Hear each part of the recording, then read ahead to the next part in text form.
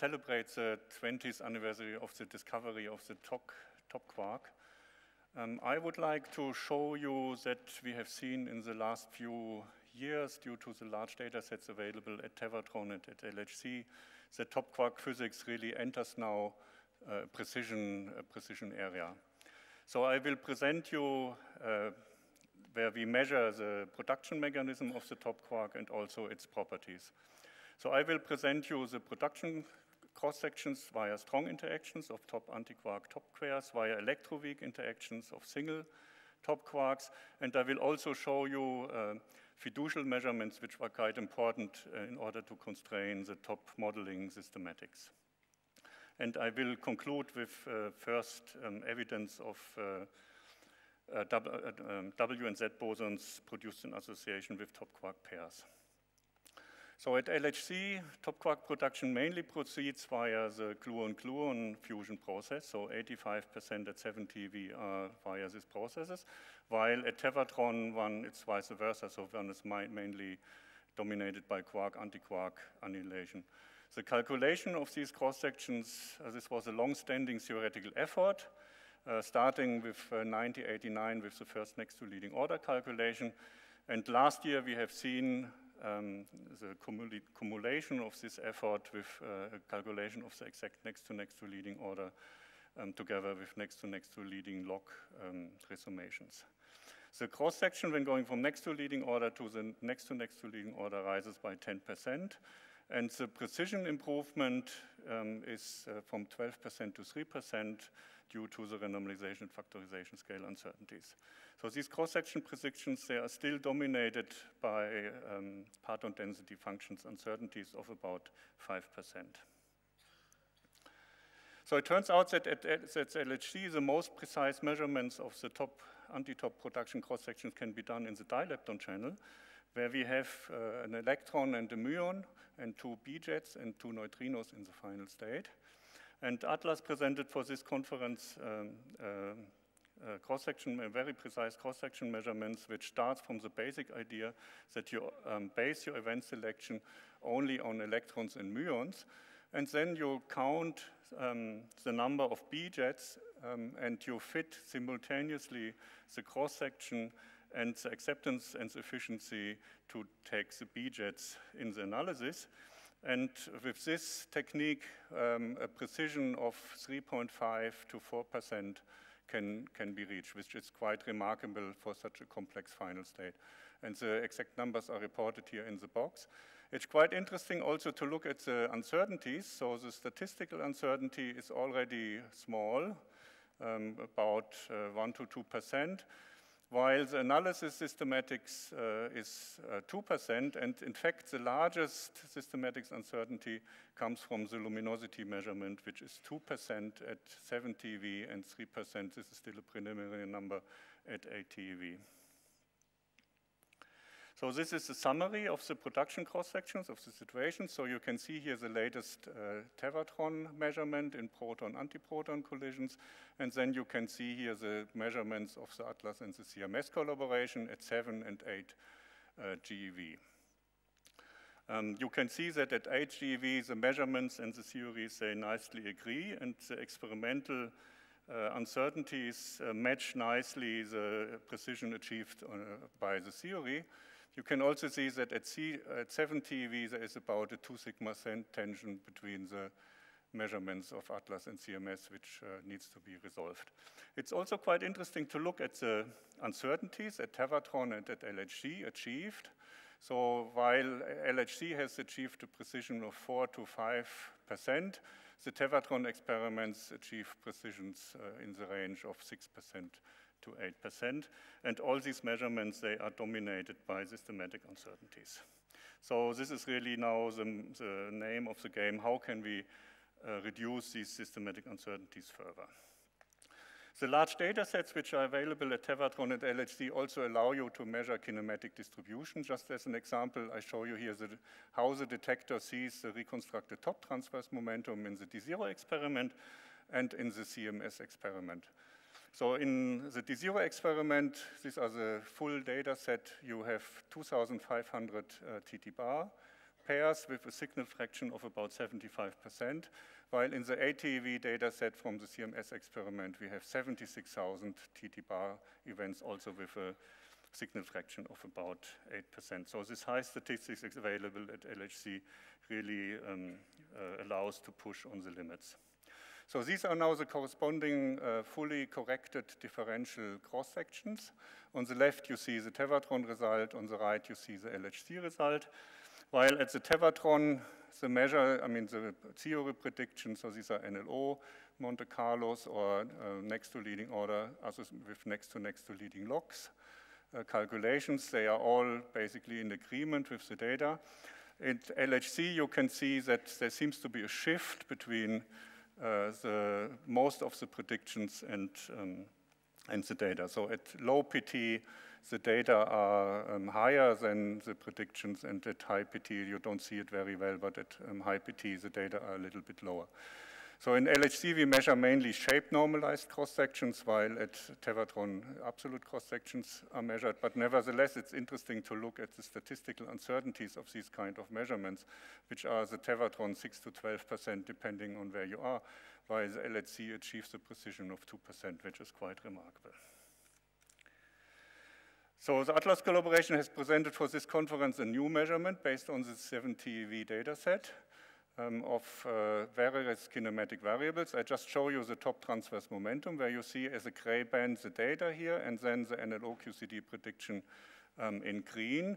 And if you look at the ratio, you nicely see that at low PT, the data are well described by next to leading order calculations. At high PT, there is a discrepancy of about 30%. And this um, is really, uh, I mean, first of all, in the experimental, in particular in searches, I mean, this is really a matter of concern if you now want to look at more complex final states and uh, this kind of distributions are not correct. But also from the theory side, this was really actively um, looked at recently. We don't really know yet what is the reason why the data are lower. I mean, one possible explanation is shown here, so it could be related to the proton-parton densities where we observe that uh, a PDF which um, has a, a, a less, uh, I mean, a softer gluon at large um, momentum fractions is in better agreement with the data. But it could also be other effects, electroweak effects or higher order effects. We are eagerly awaiting for the next to next to leading order differential distribution, which is promised for this year. Maybe this could solve the problem. And it could also be related to um, hadronization. So this brings me to these uh, fully corrected uh, fiducial measurements, which were quite important in order to constrain the systematic. So this is a measurement which um, shows you the production of TT bar events in association with jets.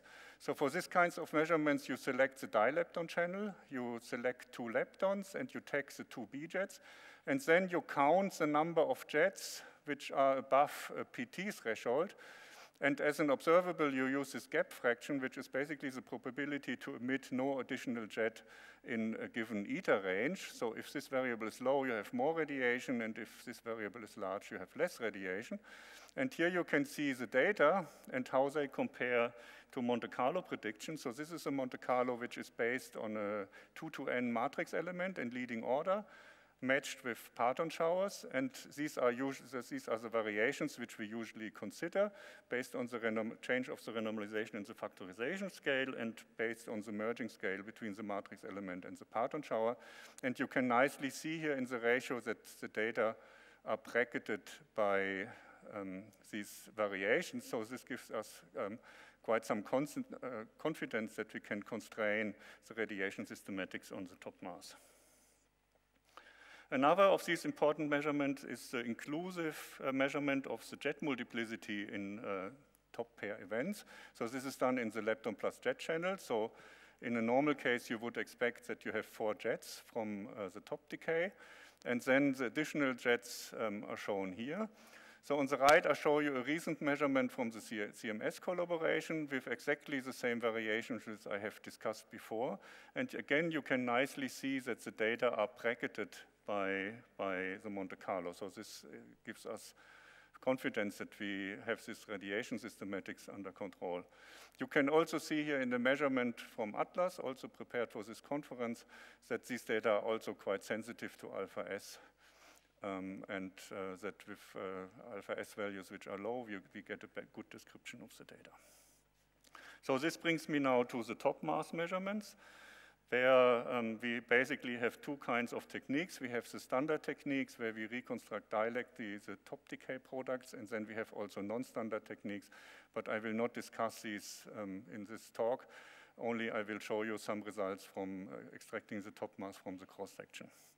So in order to uh, um, measure the top mass, we are using a Monte Carlo simulation, then we are reconstructing the top decay products based on a kinematic fit we are associating two jets to the W boson and then a B quark in order to form the top mass. And there are various methods which I will not discuss in detail, but basically, I mean, most uh, precise measurements now use a two-parameter fit, where in addition to the top mass, you also fit the um, a parameter which uh, parameterizes the transition of uh, the quarks to the hadron jets and then of the hadron jets to the detector. So you constrain the jet energy scale and physics effects from hadronization with this second parameter.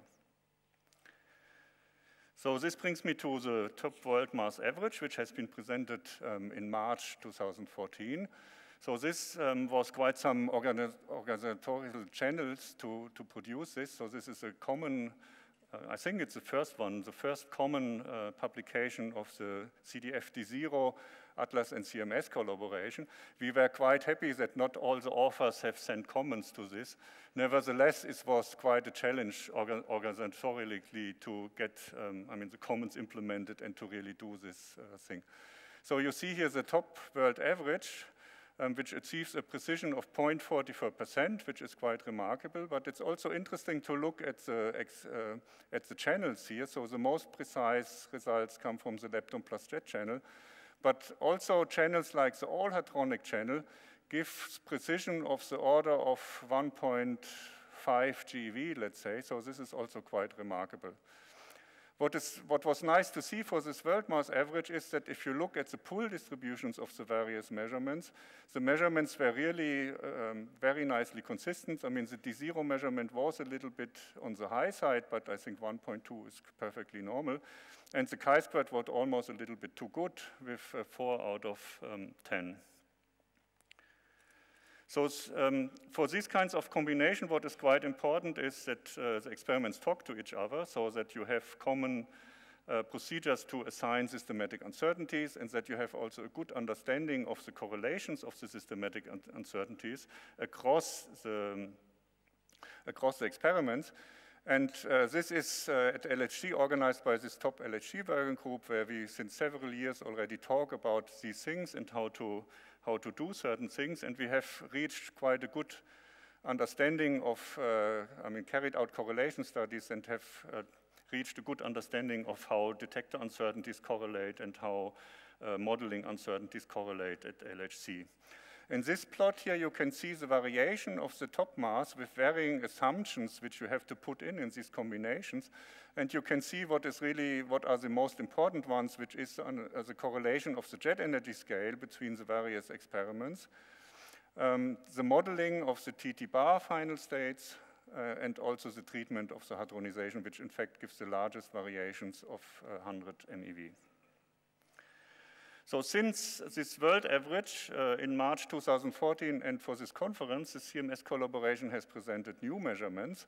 So one measurement is in the lepton plus jet channel, which gives you, uh, I mean, which is one of the most precise measurements. So it gives you an uncertainty well below 1 GeV with a precision of 0.45. And for this conference, even a very precise measurement in the fully hadronic um, channel um, has been presented, which also gives you an uncertainty below 1 GeV with a precision of uh, 0.53%. So I think in this channel, this is quite remarkable to achieve such uh, precision.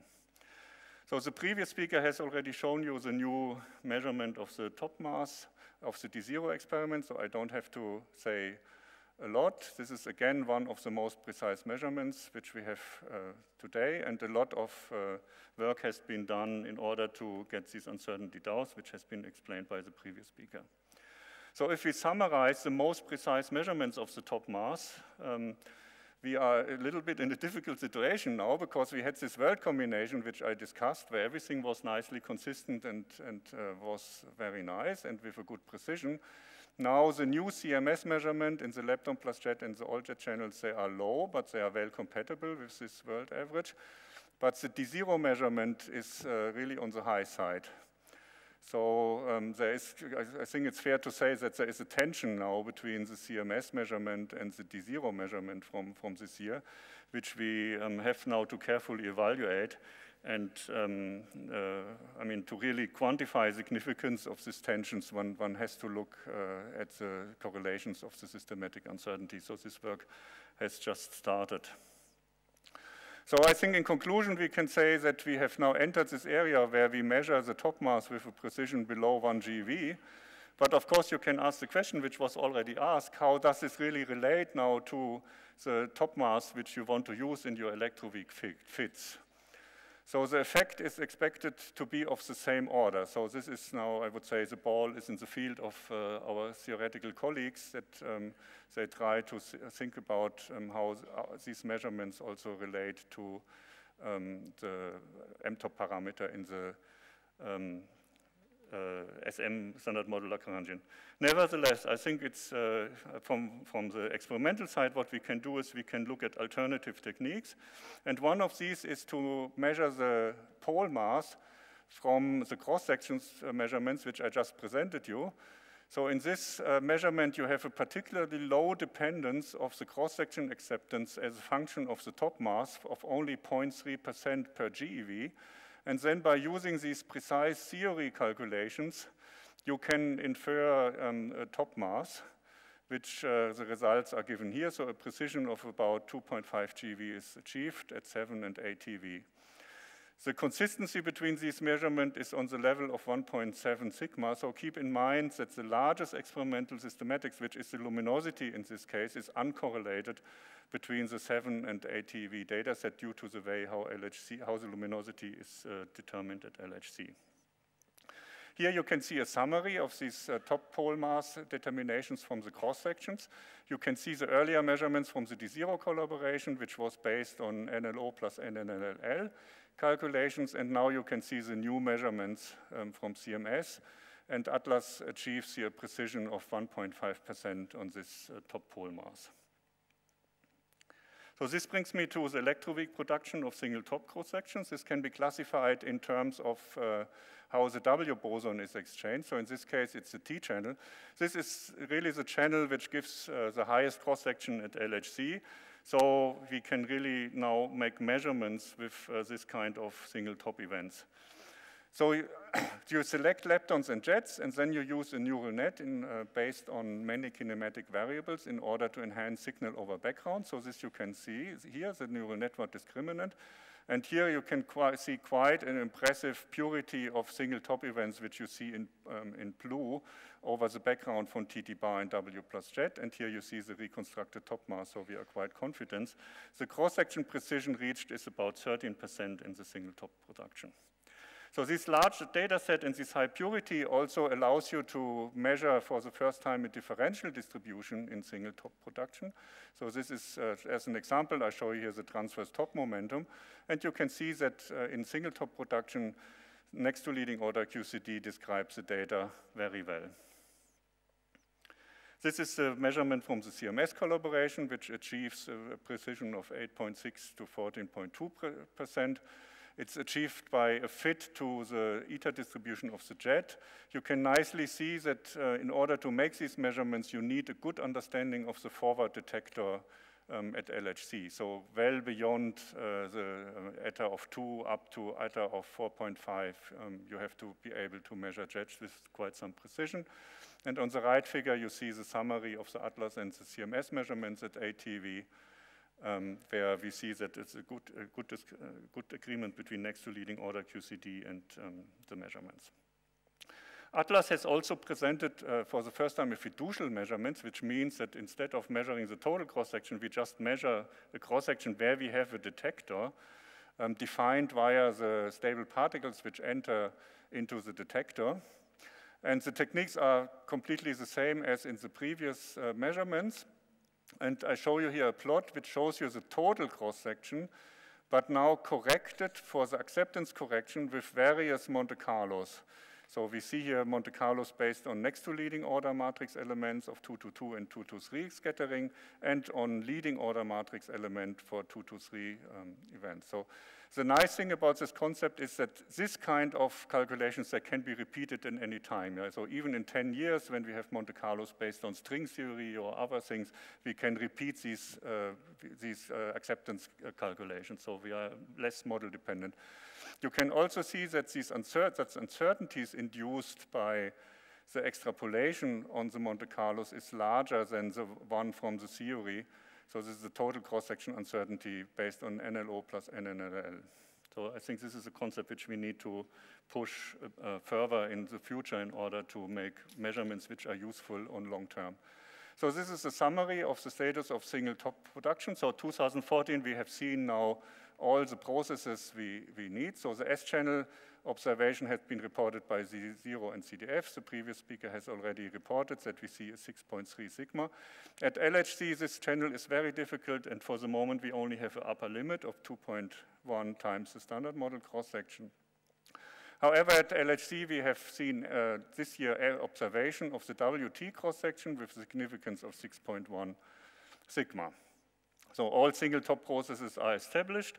We measure cross-sections in the T-channel on the level of 10% at LHC, 16% at Tevatron, and the WT channel 22% which is quite good. So the search area in this field is uh, over, and we are really entering now a phase where we can make physics out of this. So determination of the CKM matrix element, uh, WTB, constraints on anomalous couplings, flavor changing neutral currents, polarization, and CP violation measurements in the single top area.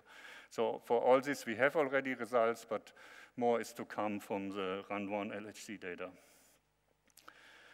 So one of the interesting things is this uh, structure of the WBT cross-section, and uh, there is one measurement one can do is the branching ratio of uh, top going to WB over top going to anything, which is directly related to the CKM matrix element um, parameters here. And at Tevatron, there were these early measurements um, which uh, came out a little bit low. I mean, the standard model prediction is one, one basically, with uh, almost one. So these uh, were in quite some tension. There is a late, latest measurement from CDF, which has still a tension of 1.8 sigma, but is in better agreement. And there is a new measurement by CMS, which uh, gives a very high precision on this measurement. And uh, it, this translates in, in a constraint on the WT um, matrix element of 1 to 2 percent while the single top cross sections uh, reach a precision of 5 to 10% only. So this brings me to my last uh, subject, which is the production of uh, TT bar production in association with W and Z boson. I show you as examples here um, two um, diagrams. The next to leading order cross-section is about 200 femtobarn, so it's uh, feasible to reach its LHC. Here you see the dependence on the center of mass energy. So these are processes which are of the same order of TTH production. The experimental signatures can be classified in terms of the number of leptons, so depending on in which number of leptons the WZ and TT bar um, decays, you have uh, final states with two leptons, three leptons, and four leptons, where and uh, then you can sort of look at, I mean, the CMS uh, collaborations, they use two leptons, same sign to suppress the background. They use all flavors, so electron muons, uh, uh, all flavors. They use three leptons and four leptons, so this is a quite complete analysis. While in Atlas, um, we use only two leptons, same sign. For muons, only three leptons. Um, and two leptons opposite sign where the Z plus jet background is very important. So we have to use a neural net in order to suppress the background. And uh, so for Atlas, uh, these are still preliminary results, while CMS, this is really the final word from, from Run 1. So this is a CMS measurement. So it's just an example, the three lepton channel. You see here nicely that the leptons, they form the Z mass and the top mass, so that's interesting. And the 8 TeV measurement achieves um, a significance of about uh, 3, 3 to 3.7 sigma. Um, uh, so for TTZ, so here you assume the TTW, and here when you measure TTW, you assume TTZ, but if you don't do these assumptions, then you have 3.7 sigma. There's also an earlier measurement from last year reporting on the 7TeV, reporting a similar acceptance, but this uh, probably they were rather lucky on the 7TeV data, so I would say that with this update and together with the ATLAS measurements, this is really the, now the evidence for this process. So this is the ATLAS measurement. So here as an example, I show you again the three lepton in the Z mass region. We nicely seeing, um, we, we, we, can see here this uh, top mass peak. So we have quite some events. And then uh, when we combine all our channel, two lepton, same sign, opposite, and three lepton combined, um, and we assume the, the WZ and W, TTZ and TTW ratio from the standard model, we see a 3.1 sigma excess for uh, significance for the TTW, 3.2 for the TTZ. And for the inclusive case, we, we, have a, uh, we have a significance of almost 5 sigma for this process.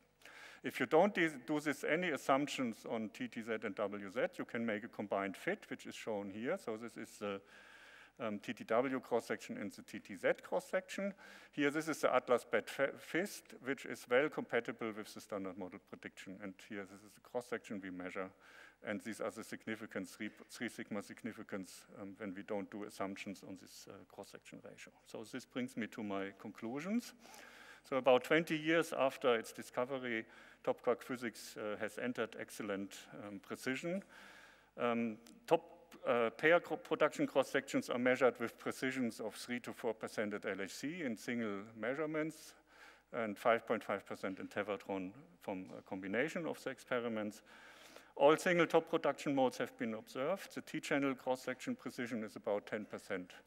The top mass reached a precision of 0.5% um, from the world average. Um, there was uh, excellent agreement between this measurement but now with the latest measurements which have been published after the world average, we see now a tension um, which uh, we need to evaluate now the significance between uh, the C um, CMS and the D0 experiment. So can we use these uh, top mass uh, measurements in electroweak fits? Um, okay, we, I don't really know, I'm an experimentalist, but what I can do as an experimentalist, I can measure, I can use these precise cross-section measurements to extract the total mass by comparison to theory, which reaches a precision of 1.5%, which is quite remarkable. We have seen evidence for top quarks produced in uh, association with W and Z bosons on a 3 sigma level. And uh, there are many more detailed measurements which I didn't have time to really report on, on spin correlations and polarization and so on, so you can look this up in the references I give. But I think the takeaway message is really that uh, all these measurements are now limited by systematic uncertainties. So the only way how to make uh, progress there is um, to make measurements, fiducial measurements, uh, well-defined measurements, which constrain the modeling of the TT bar final states, which constrain the additional QCD radiation, and which, which constrain the BJet fragmentation, because these are sort of the areas where systematics um, are, are, large. And of course, detector performance, uh, jet energy scales, uh, B tagging, this is quite important for, for top physics. Okay, thank you. Thanks for this top level experimental tour. I think we only have time for a single top question.